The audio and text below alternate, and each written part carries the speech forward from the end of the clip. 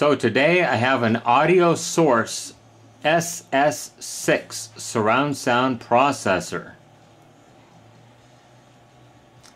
So this unit was brought into me and the complaint is one channel is lower than the other channel. So let's go ahead and just pop the top off and take a look around inside before we go any farther whatsoever. Well, there is certainly a lot going on inside of this thing.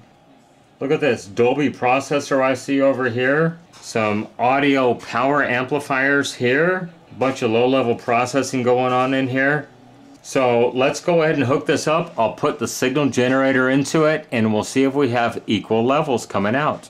Okay, so I've got the unit connected. I've got a 1000 hertz audio signal going into the left and right audio. I have the front output connected to my stereo receiver. So let's turn up the volume. Oh, listen to that static. That's bad right off the bat. And I'm only getting the test tone from the left channel.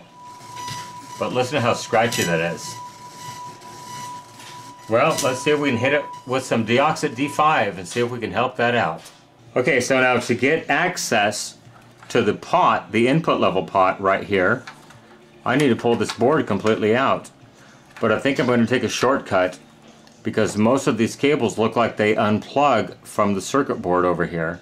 So I'm just going to go ahead and I'll put a couple witness marks on these in case they're the same pin configuration. That way we don't get them plugged in the wrong plugs. Okay, so what I did, if you look at the plugs, I made marks on both the plug side and the connector side. And each one is unique. Some are spaced far apart, some are spaced close together,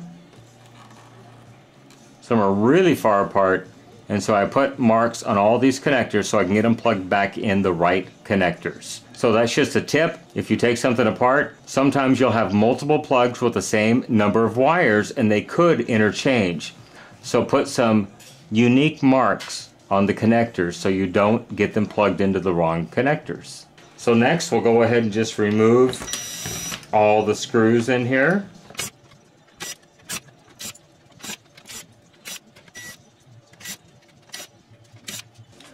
So make sure you're using your screw separator, in my case, my egg carton container, so you don't get them mixed up. All right, there we go. Now we can get access to that pot and get some deoxit in there to do some good.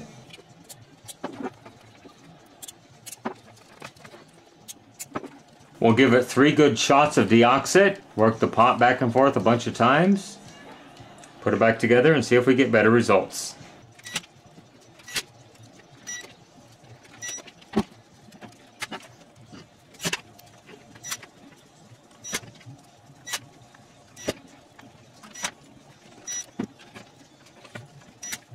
Alright, so the front's back on it. Let's reconnect all the cables using the witness marks I put on there. Make sure they all go back in the right connectors.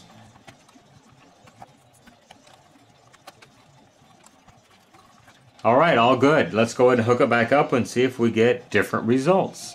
Okay, well, much better. We certainly don't get that static. Okay, so I've got the unit hooked up here, some copyright-free audio playing into it.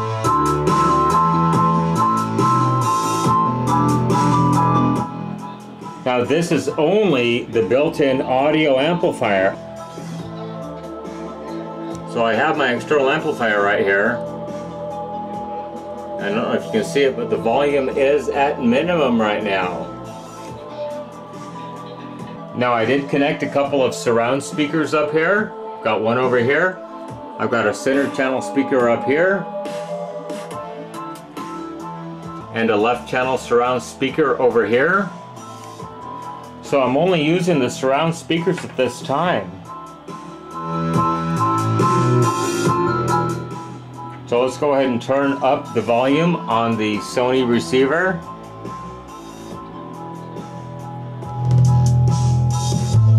definitely tell the difference, it's working fine.